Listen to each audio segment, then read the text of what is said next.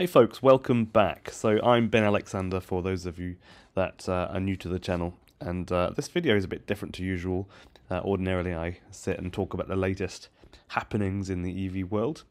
Uh, so uh, I was recently in Amsterdam, like I possibly said in a previous video. I'm not sure if I did on my return back to uh, Europe and I, I thought as I was popping into Amsterdam that I'll spend a few days there. And it's amazing. It really is amazing. So many electric cars, as you can see uh, in the previous clip. Uh, there was the BYD Seal, and I just thought uh, that it was parked very badly, so I took that little bit of video. And uh, these are just some uh, pictures of some electric cars I saw in, in literally a few days, just in and around Amsterdam. Uh, and I got to see the Zeekr, and I, I did actually do another video, which I'll get to. Uh, after this, it's going to be a quality control check video of the Zeekr. Uh, so this is a uh, car parking garage, one of uh, uh, you know one of the best ones I've seen. It's amazing under the streets of Amsterdam, and uh, you know bikes really are everything in Amsterdam. They're crazy. Goes in it. It's a really long history, and you know. So anyway, back to what we're seeing here. the Zeekr, I was really impressed with it. of course, nothing weird to report. No weird paint things or anything like that. And uh, I was happy to see some proper tyres on it too. And uh, yeah, I thought uh, it was very nice, very comfortable inside as well. I haven't driven it, obviously. Just uh, I was just lucky enough to bump into it in the city centre, and uh, they said I could do a little video with it, so that was good.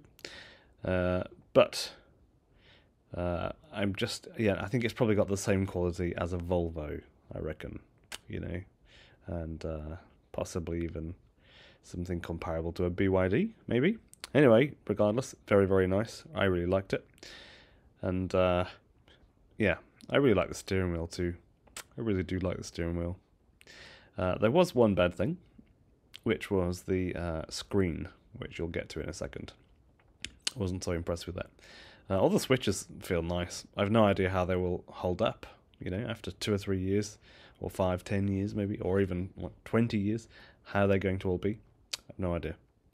But they felt good. The screen, quite a bit, I don't know, it just felt a bit glitchy. I only gave you a small clip here, but generally, a bit glitchy. Wasn't impressed. Look, I'm like pressing it twice, it comes up. And then, I just, I'm not a big fan of that, you know, when you pay huge money for an electric car, and uh, uh, and in my opinion, it is huge. It is huge money. You know, maybe not if you're rich and you're buying a really expensive car. So, but it is generally it's a lot of money for a huge amount of people. Uh, these bikes, I really love them. They're everywhere. Felyx is the company. You can download the app and uh, rent them for the day. And there's a few little tariffs that you can use, like uh, so many cents every hour. They're amazing. Uh, these uh, I, I this is the Citroen Ami, but it was uh, Opel basically, and uh, another picture of the Zeekr in in full glory. Pretty cool car. I really like the size of it. It's like the MG4 sort of size. It's nice. Uh, this car here, I know a lot of you uh, know what it is, but I just think it's really beautiful as an electric car goes. And uh, yeah, this Fiat 500 as well with a broken flap on it uh, reversing very badly in the city and uh, irritated this lady behind who was like pipping a horn and revving up her petrol car. Uh, yeah, everywhere. Look, just electric cars everywhere.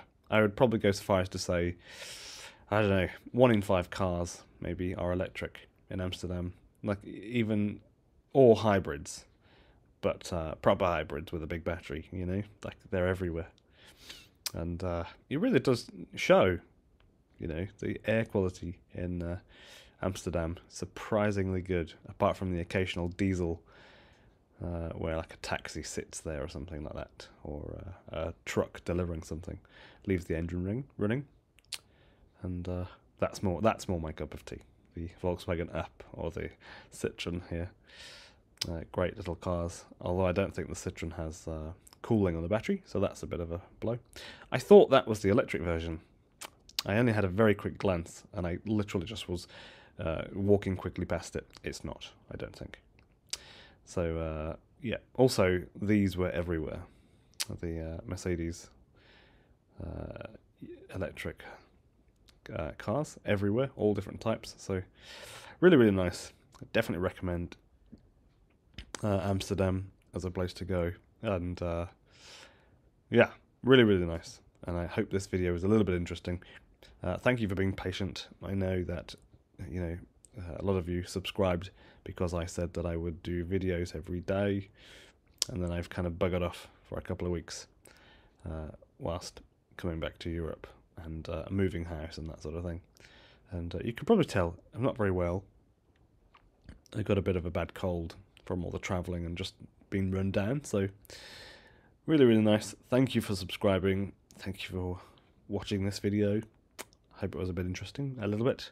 I didn't take as much footage as I would have liked. But um, yeah, feeling much better.